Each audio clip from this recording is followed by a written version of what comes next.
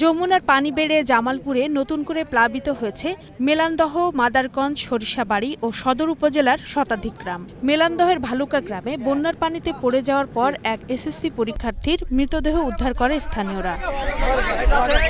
তিস্তা, ব্রহ্মপুত্র, যমুনা, করতোয়া বাঙ্গালী ও ঘাঘট নদীর পানি বিপদসীমার উপর দিয়ে প্রবাহিত হওয়ায় গাইবান্ধায় নতুন নতুন এলাকা প্লাবিত হয়েছে।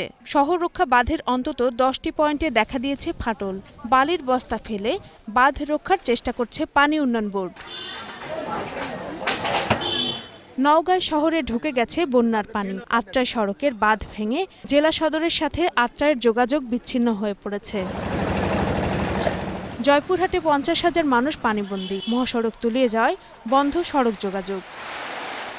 সিরাজগঞ্জের যমুনার পানি অব্যাহতভাবে বাড়ায় শাহজাদপুরের গোপালপুরে বন্যা নিয়ন্ত্রণ বাঁধ ভেঙে গেছে। এনায়েতপুরের সৈয়দপুর সড়ক ও রানীগ্রাম এলাকায় বাঁধ ফেটে পানি চুইয়ে ভেতরে প্রবেশ করায় আতঙ্কে স্থানীয়রা।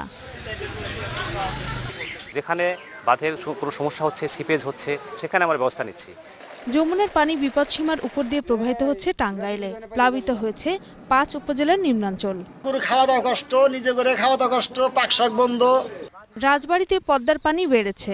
গোয়ালন্দের কয়েকটি ইউনিয়নে ষোলো হাজার পরিবার এখন পানিবন্দী। তিন দিন আগে নিখোঁজ হওয়া এক ব্যক্তির মৃতদেহ উদ্ধার করা হয়েছে দিনাজপুরে। এদিকে রেল লাইন ক্ষতিগ্রস্ত হওয়ায় এখনও বন্ধ রয়েছে সারা দেশের সাথে রেল যোগাযোগ। কুড়িগ্রামে নয় উপজেলার সাতশো তেষট্টি গ্রামের বানভাসী মানুষ আশ্রয় নিয়েছে পাকা সড়ক, উঁচু বাঁধ ও শিক্ষা প্রতিষ্ঠানে। লালমনিরহাটে তিস্তা ও ধরলার পানি কমলেও পুরোপুরি না নামায় বাড়ি ফিরতে পারছে না দুর্গত এলাকার মানুষ।